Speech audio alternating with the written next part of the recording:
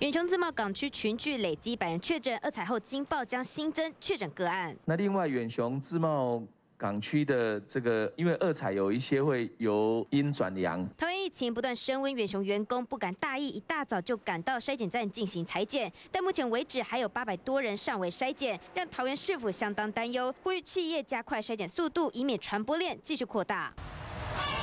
幼儿园在二十五号晚间也爆出新增两名幼童确诊，幼儿园紧急闭门清消八十六名师生居家隔离，一共裁减了六百六十四位民众。桃园市府也紧急宣布，要私立幼儿园提前两天放寒假。我是觉得安全还是比较重要了，对对对，反正能早点通知我们，我们就早点跟那个公司安排。桃园的三条传播链分别是远雄自贸港区幼儿园以及龙潭山友。郑文灿表示，这三条都有新增确诊个案。